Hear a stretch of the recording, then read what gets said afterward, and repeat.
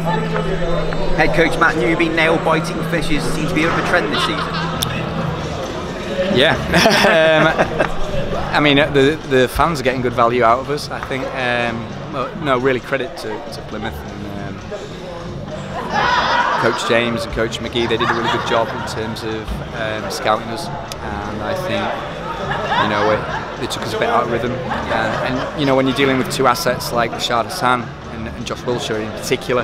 Um, it's not easy, but I, I have to say the boys dug deep rotation was good. I thought Julius Van Sauers was good again, and defensively, uh, specifically defensively, and um, you know we got it done. It wasn't pretty, but we got it done. That's the important thing. We got the win.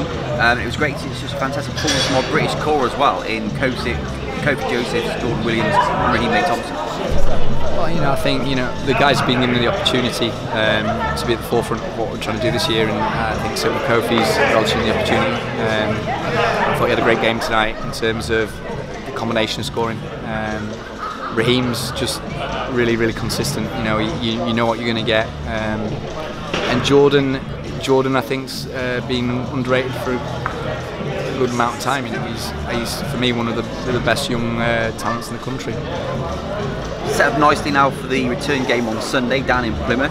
Um, do you think we can repeat our performance down there? Uh, we have to really. I mean, I said in uh, the interviews earlier in the week, this is a pivotal weekend for us. Um, I think if we, we, if we take that second game, um, it puts us in a strong position in the table, arguably vying for, for second. There's obviously some work to do, but we've got Surrey and Bristol travelling to us, for example, and we already have quite a decent split against London Lions. Yeah. So um, if we manage the situation well, if we do our homework and we do our job, um, we'll be in good shape. And just finally, how good the support from have been this evening?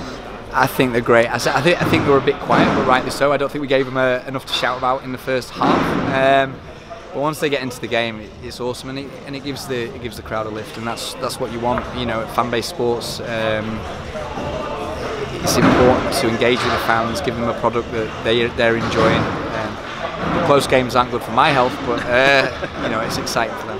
That's great. Cheers, Matt. Cheers, mate.